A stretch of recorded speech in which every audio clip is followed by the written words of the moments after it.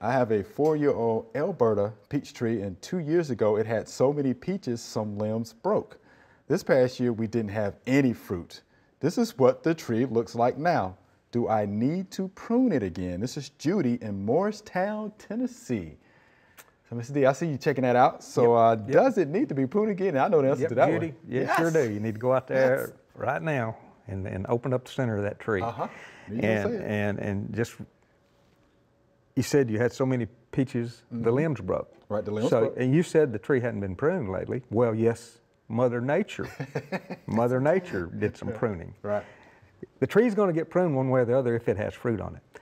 And uh, you do a lot better job you than uh, Mother Nature. Mother Nature, she gets kind of rough with tough. the tree, you know. Yeah. Uh, but yeah, I would open up the center of that tree, and then not only would I do that, even you know, because if you if you open up the center of the tree and bring it down to about eight or nine feet in height, you know, always making your cut above a bud that's growing to the outside. you know, and do that in the wintertime. You're you're controlling the growth. You're encouraging new growth to go in the direction that you want it. Right. If you do that when you're pruning, and then when you have fruit on there, before the pit hardens, that means before they're dime sized, look at the fruit. And if you can imagine how big you want that fruit to be, and if you've got six in six yeah, inches, right, right, right. That ain't going to happen, you know. So go and take out. You need to take yeah. out. I mean, you're when you do a good job of pruning, you're probably taking out 80% of the fruit that was going to be on the tree anyway.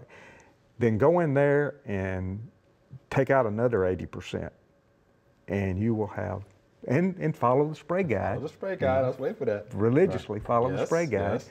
And to control the insects and diseases, you'll have nice big fruit that won't break the limbs out of the tree. But you know what? I don't think people can envision that though when you're thinking about pruning, you know, to thin out some of the fruit.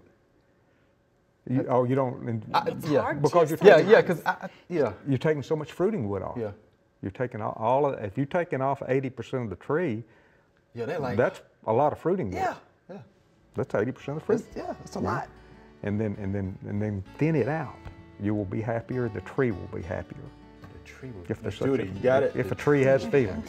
yeah. If the tree has feelings, it will be happier. Thanks for watching the video. We hope you enjoyed. To subscribe, click below.